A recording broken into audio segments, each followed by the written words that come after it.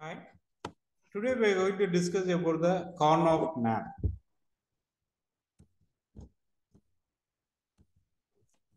Here, basically, the, minim the minimization of the Boolean expression. Here, there are two methods are there for minimizing the Boolean expression. The minimization may be called as the reduction of the Boolean expression. Here, the first method is by using the Boolean algebra. That is the laws of Boolean algebra. That is the one method for simplifying the Boolean expression. The another one method is the, by using the Karnaugh map or it may be otherwise called as the K-map method. The third method for simplifying the Boolean expression is by using the tabulation method. Okay. First, we will discuss about the Karnaugh map. Here, the K-map, Karnaugh map is otherwise called as the K-map and then is a graphical representation that provides a systematic method for simplifying the Boolean expression. The where the K-map is a visual way to simplify the logical expression and then it gives a most simplified form of expression. Next, we will dis discuss about the next we will discuss about the rules to obtain the most simplified expression. Here, the simplification of the logical expression by using the Boolean algebra is awkward because it lacks specific rules to predict the most suitable next step in the simplification process and then it is difficult to determine whether the simplified form has achieved or not. These are the two drawbacks when we are using the uh, Boolean algebra. Next, a K-map is the graphical method used to obtain the most simplified form of an expression in a standard form. That is, either we can obtain the sum of product or we can obtain the product of sum.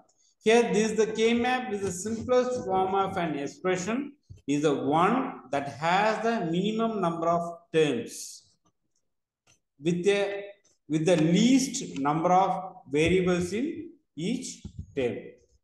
Next, by simplifying an expression to one that uses the minimum number of terms, we ensure that the function will be implemented with the minimum number of gates. Okay, here while during the simplification, if you are getting the in Boolean expression, simplified expression, if you are getting the minimum number of terms and variables means, then obviously the number of gates which will be using for implementing the uh, logic circuit that will be reduced. Okay. By simplifying an expression to one that uses the least number of literals, that is variables for each term, we ensure that the function will be implemented with gate that have been minimum number of inputs. Here there are different types of K-maps are there. Okay, uh, that is the K-map simplification is of two variable K-map, three variable K-map, four variable K-map, then five variable K-map and six variable K-map are there. Here in our presentation today we will be discussing up to two variable K-map. Here in this two variable K-map is drawn for the Boolean expression where it consists of only two variables. The two variable K-map is drawn only for the expression uh, which consists of the only two variables. Here the number of present uh, cells present in the two variable K-map are 2 power 2. Why 2 power 2 means 2 power 2 that uh, this 2 represents the number of variables. So we'll have the 4 cells. So uh, for a boolean function consists of two variables, we have 2 by 2 K-map. This is the way how we can represent the two variable K-map.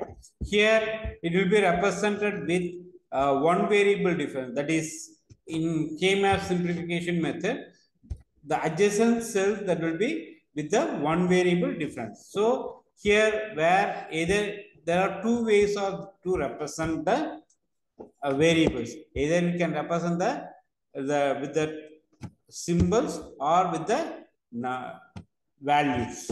Okay, here a bar, b bar, a, b. Where the a bar represents zero, a represents one. Here b bar represents zero, b represents one. This is the two way of representation of the variables. Okay. Next one is the three variable K map. In this three variable K map can be drawn for for the expression where it consists boolean function or boolean expression which consists of three variables. So 2 power 3.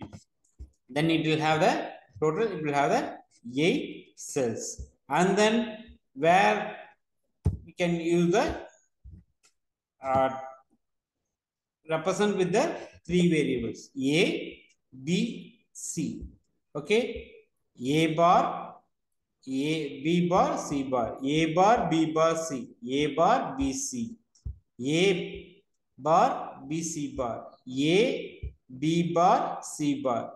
A, B bar, C. A, B, C. A, B, B, C bar. Here, if you see here, in column wise, if you see here, it is with only one variable difference. It is zero. Here it is one. See here in the horizontal BC representation. Okay, zero, zero, zero, one. If you see here means only one variable represent. Next will be zero, one, one, one. Here also only one variable difference between the adjacent cells. Again, one, zero, one, one, zero, one, one. Here also one variable difference. Okay, next we will see about the four variable K map. Here in this four variable K map, where we have the four variable will be there in the Boolean expression. So 2 power 4, it will have the 16 cells. So we can draw the K map of 16 cells. This is a representation of four variable K map. 0, 0, 0, 1, 1, 1, 1, 0. Similarly here, 0, 0, 0, 1, 1, 1, 1, 0.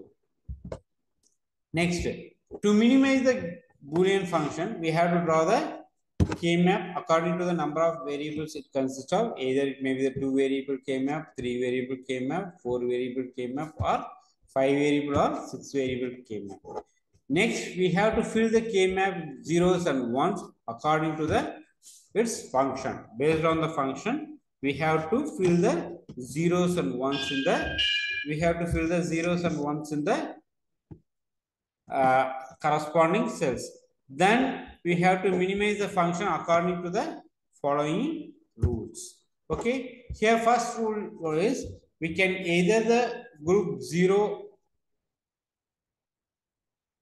either we can group zeros with zeros or ones with ones but we should not group zeros and ones together.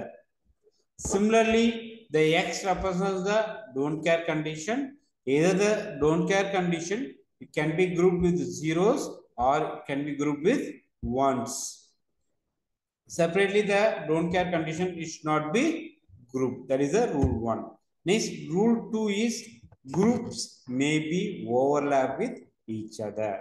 The rule groups that can be overlap with each other.